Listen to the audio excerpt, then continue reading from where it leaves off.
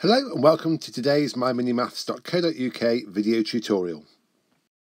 And today we're going to be multiplying and dividing whole numbers by 10, 100 and 1000. Now before we start we need to understand why our numbers actually move when we multiply or divide by 10, 100 and 1000. So if I take the headings for the different columns I have my decimal point here, I've got my tenths, and I've got my hundredths. Now, if I take a unit, let's say four units, and I was to move that into the tens column, it becomes 10 times bigger because there are 10 units in a 10. There are 10 tens in a hundred, 10 hundreds in a thousand, and so on.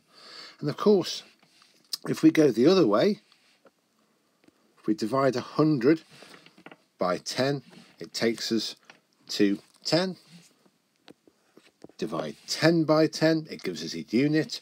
If we divide a unit, a whole, so a whole pizza, into 10 parts, it gives us one tenth, and so on. and this is the reason why when we move one space, that's times 10, another space, that's times 10, and it's the same as saying times by 100. And if we go backwards, that's divide by 10, divide by 10, divide by 10. That's the same as dividing by a thousand. So this is why it's really important to understand why we move our numbers larger or smaller depending on the number of zeros and the number of tens that are involved. So first of all, on to question one which is 45 multiplied by 10. So again, if we take our units and our tens and we place our 45 in there,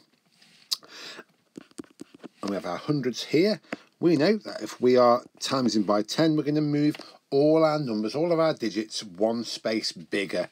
So the 4 ends up moving into the hundreds column, the 5 follows it. It's very important that these stay stuck together. And then in the gap here, we have a 0 for 0 units for a final answer of 450.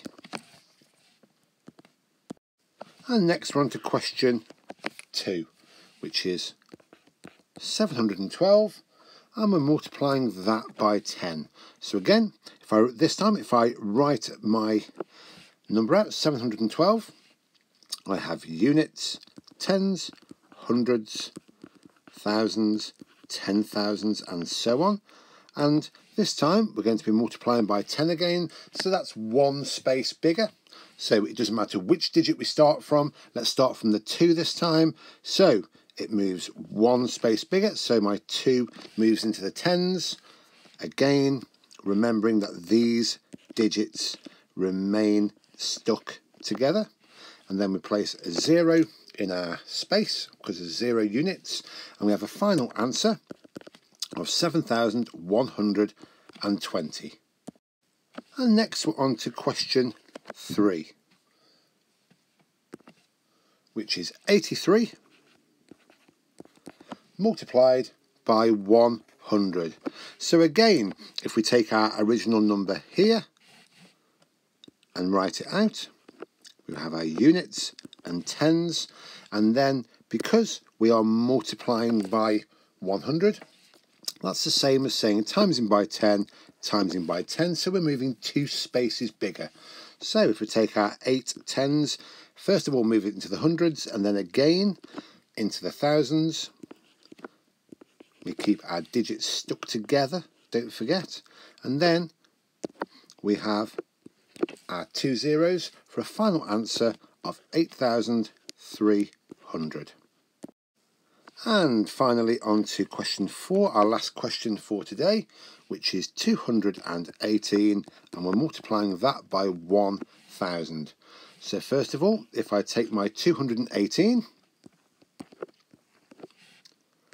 I'm going to multiply it by 1000, which is the same as saying times 10 times 10 times 10, so that's three spaces larger, three spaces to the left.